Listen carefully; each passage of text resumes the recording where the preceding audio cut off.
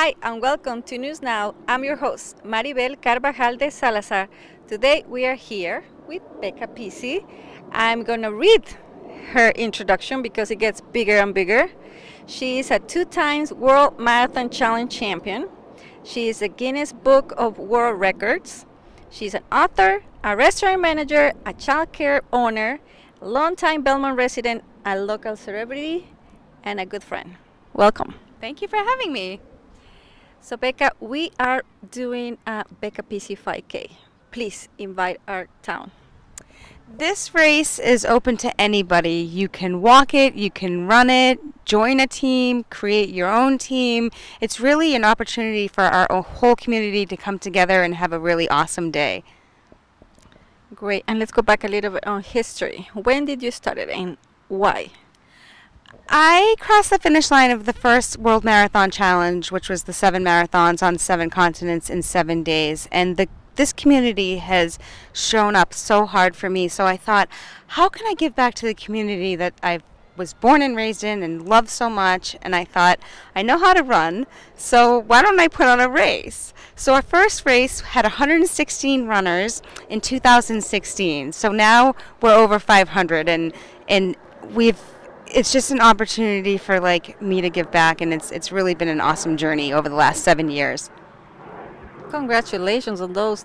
And what is the purpose of the of the run and how much have you accomplished so this race has brought in over $50,000 and all of the proceeds go towards the Belmont High School for graduating seniors and any sports equipment that the community of Belmont needs. Um, they just reach out and ask me and I, I, it's an honor to donate to the Belmont High School that has, I graduated in 1998 so giving back to my high school it means a lot to me. Awesome. And now let's go back to uh, April you had twice run the Boston Marathon. How was that? It was so much fun. So I was going on my 18th consecutive Boston Marathon. There's nothing I would rather be doing on Patriots Day. And the race director reached out and he said, I'm going to be running my 50th marathon at night, same course, same everything. I'd like to invite you. And I said, Well, the one problem is I'm keeping my streak alive for the first one. And he said, Run both. And Dave McGillivray's a good friend and, and knows that I like a challenge. So I thought, I'll do both. I'll give it a try. And it was an awesome day getting to run the Boston Marathon two times in one day. And it was, it was really fun for me. And once again, the community showed up so hard and cheered for us the second time too. And it was, it was great. And you have this personal goal of run a marathon in each state. How's it going? I started a goal five years ago to run a marathon in all 50 states. So I am at marathon, going on marathon 43, and getting to see the whole U.S. is incredible doing what I love to do. So it's been way more fun than I thought that it would be, seeing the whole U.S. and going to Mount Rushmore and Las Vegas and really cool places. Running through Disney, Cinderella's castle was awesome. So I've had a really fun time. I'm going to be sad when it's over, but I'm definitely not going to do it again. You want to stop either. Yeah, I won't stop. I'll find another goal. So, how is Becca Pizzi's day? Let's go on a regular daily routine. Yeah, so it's like a puzzle. My life's much like a puzzle. I own a daycare. I manage Moozy's ice cream shop, in which I have my own ice cream flavor, the Becca 7, with seven ingredients. And I get up and I start my day, and I, I, well, I'm lucky because I have tremendous help in my daycare and at the ice cream shop. So it takes a lot of trust that I can go and, and go on these running journeys and know that everything is going to be okay. So I get up usually at 5 a.m. and run, and anywhere from like 6 to 20 miles depending upon what day of the week it is. And i am on tuesdays anybody in the community is welcome to come down and run at the track with us. We run from 5 a.m to 6 a.m and then thursdays as well. So all paces welcome. Come run.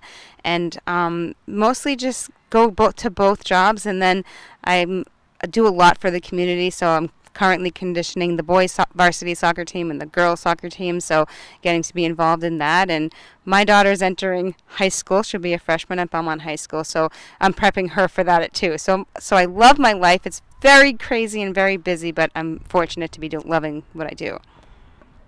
And what would be your advice to uh, another mom, another uh, person in the community that wants to start this and have never run?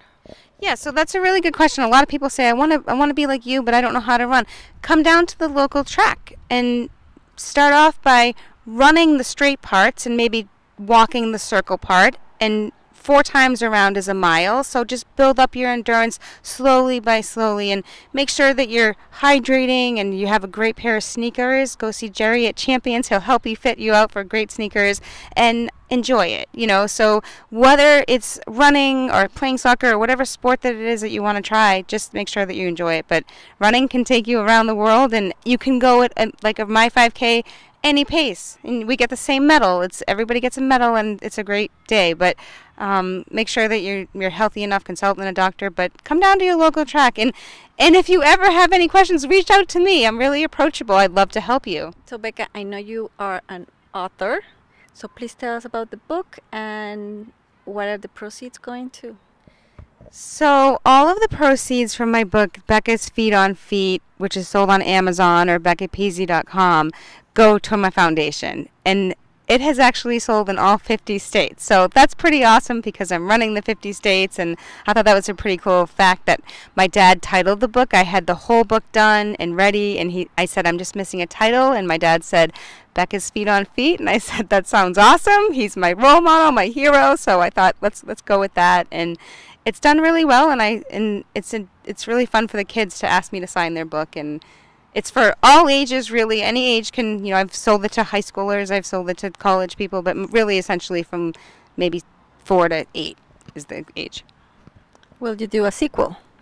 Yes i'm currently going to starting thinking it out an outline for the a book about the 50 states. So that would be really good for all the fifth grades in america studying the 50 states. Becca will you do the world challenge for a third time anything's possible. Every time I, I'm doing it, I said, This is it, go all out. You had so much fun. But I have other goals. My other goals are to run Kona Ironman and then also to run across America. So I do have other goals that I'd like to achieve, but this 777 was an incredible experience. Becca, is anything else you want to share about this fun event? Actually, yeah, I'm really excited to tell you that the mascot for the New England Revolution soccer team is coming. So come down and take a photo with him. It's going to be a great day. His name's Slide the Fox, and the New England Revolution is bringing a tent. So make sure you stop by and say hello to them and to Cambridge Trust, our sponsors. Becca, you are truly an inspiration to our community and around the world. And invite us again and how to register for the Becca Pizzi 5K. Yeah, to register, we're about a month out, and you can register at beccapizzi.com, and there's a 5K drop down link. That's great. You all, please save the date. You can run, you can walk, and I'll see you next time. That was it for today. I'm your host, Maribel Carvajal de Salazar.